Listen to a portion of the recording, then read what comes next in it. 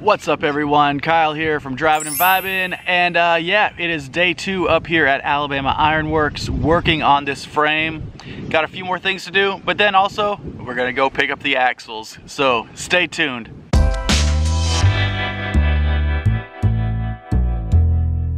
Welcome back to the channel everyone.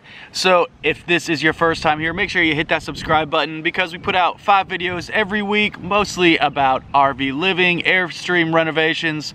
So yeah, hit that subscribe button. But today I'm finishing work on the trailer to prepare it for sandblasting.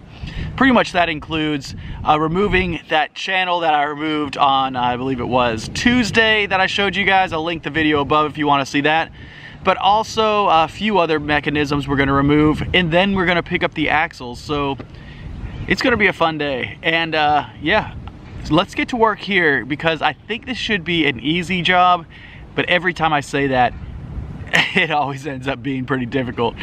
So let me get started and see if we can knock this out and then we'll go get those axles.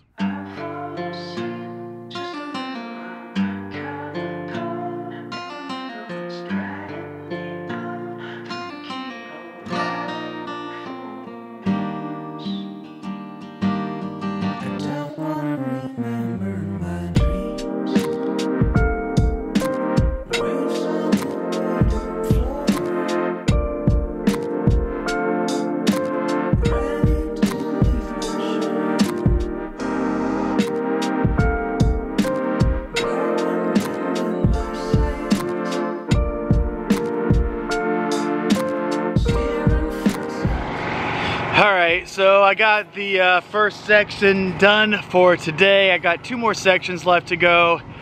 Um, when I put this video out earlier this week, I was informed by some folks that they say that this piece of metal that was welded in to this C type of frame was to create what they call a box frame or boxed frame, I guess, to add more support, which uh, I can get on board with that. Some people thought it was just to protect the wires, which seems legit too. Honestly, uh, I don't really know. And uh, on YouTube, we get tons of different opinions. I like hearing all of them.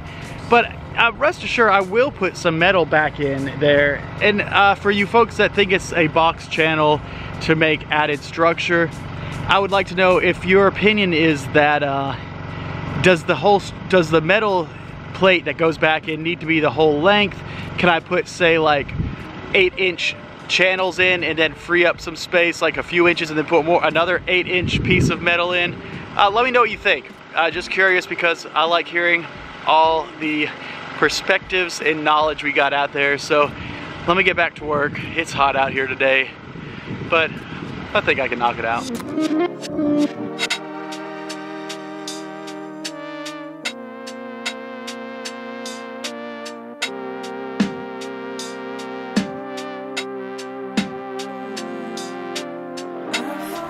All right, so I finished the second um, section down here.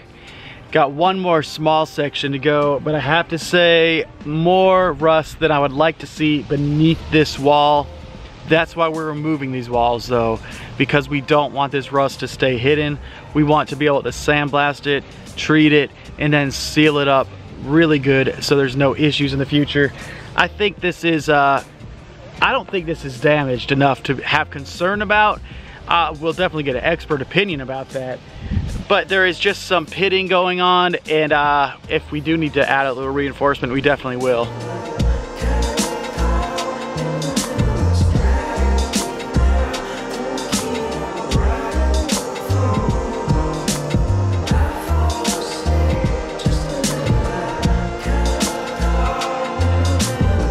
Y'all, so I completed every last thing with the frame that needs to be done before we get it sandblasted.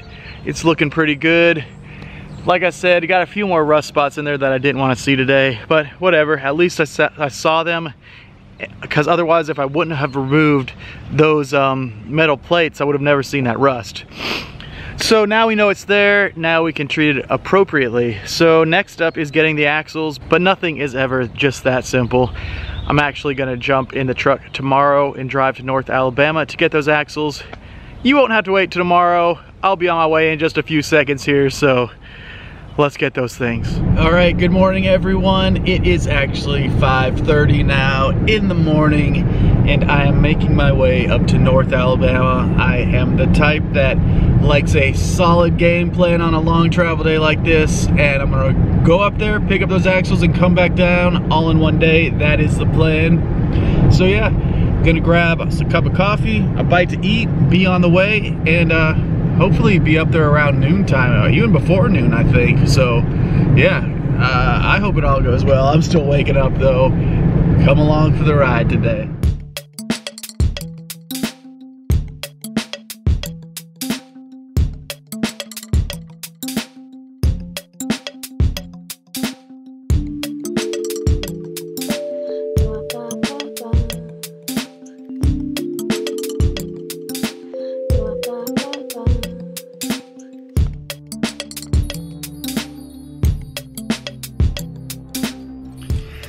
All right, everyone. So it is now uh, almost 10 o'clock, and uh, I'm about 100 miles away from the factory where I'm picking up the axles.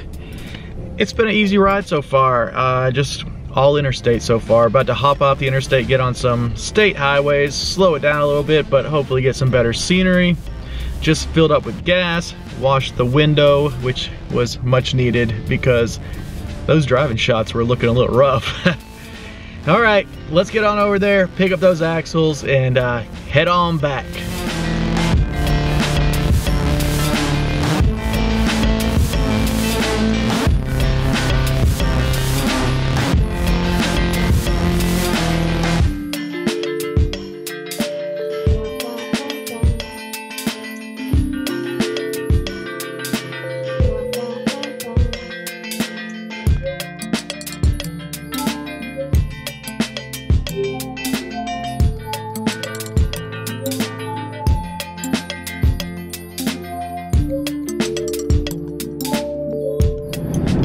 Right, y'all, so I got the axles. Uh, it was, they look beautiful. Oh my God, they just look amazing compared to the axles that are on there now. I can absolutely not wait to get those installed once the frame gets completely done. That is gonna be looking so good. It is gonna be in great condition. Uh, so we got these axles working with Inland RV. It's an RV um, company out in California. They really specialize in Airstream parts.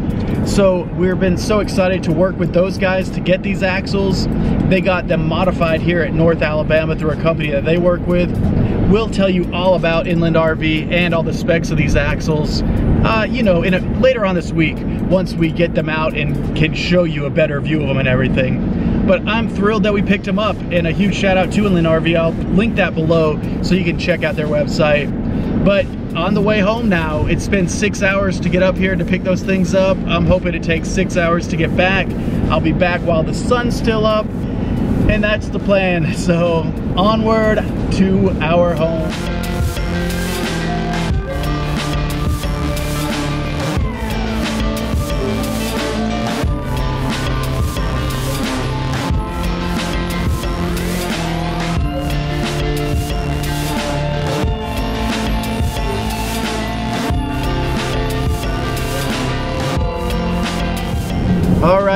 I am on the home stretch about two miles away from the fiber stream.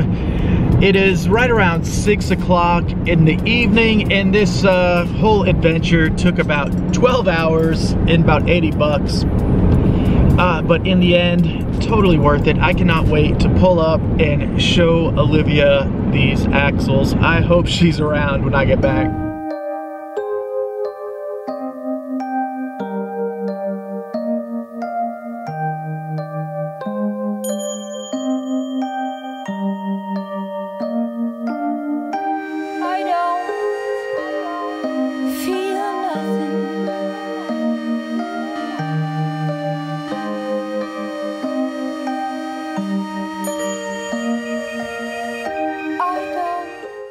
So Kyle just got home with our brand new axles I can't believe that he made this trip so quickly and easily. The axles look beautiful. We've got them stored underneath the shell of the trailer to keep them dry and clean in the time being. Hopefully we'll get them on the next week and a half or so, but they look great and I'm so excited to see this part of the project come together. I decided not to go with Kyle today to Northern Alabama because River eh, has been going through some treatment and she needed me to be home with her to watch her and just monitor her and not be moving around too much. So we got some stuff done at home today. It was a productive day for everyone and thank you guys so much for watching and joining us and we'll see you next time.